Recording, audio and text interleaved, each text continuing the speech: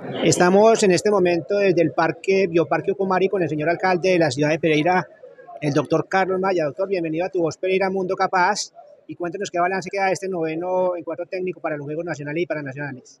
Bueno, muy bien, seguimos avanzando en el comité técnico de la formulación de los proyectos para la celebración de los Juegos Nacionales y Paranacionales, en donde venimos trabajando articuladamente con el Gobierno Nacional, la Gobernación de Risaralda y por supuesto con los departamentos de Quindío, Caldas y alcaldías de Manizales y Armenia.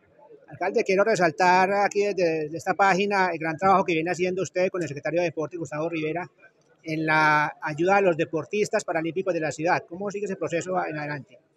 Bueno, muy bien, ese es un ejercicio que no solamente es nuestra responsabilidad en función de mandatos constitucionales y legales, sino que también es nuestra responsabilidad política y social.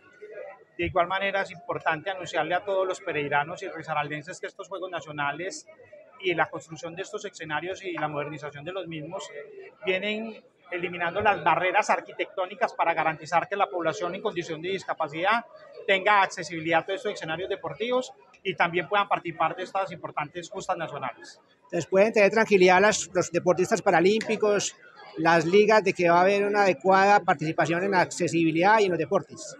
Claro que sí, la participación estará en función de la constitución de las ligas y los clubes de adecuadamente registrados ante los gobiernos municipales, departamentales y nacionales y la construcción de los escenarios deportivos y la modernización de los mismos será nuestra responsabilidad.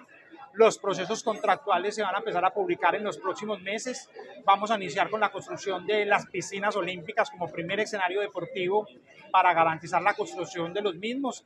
Este va a requerir una construcción completamente nueva que tiene en ella incluidas por supuesto, la eliminación de las barreras arquitectónicas para la población en condición de discapacidad.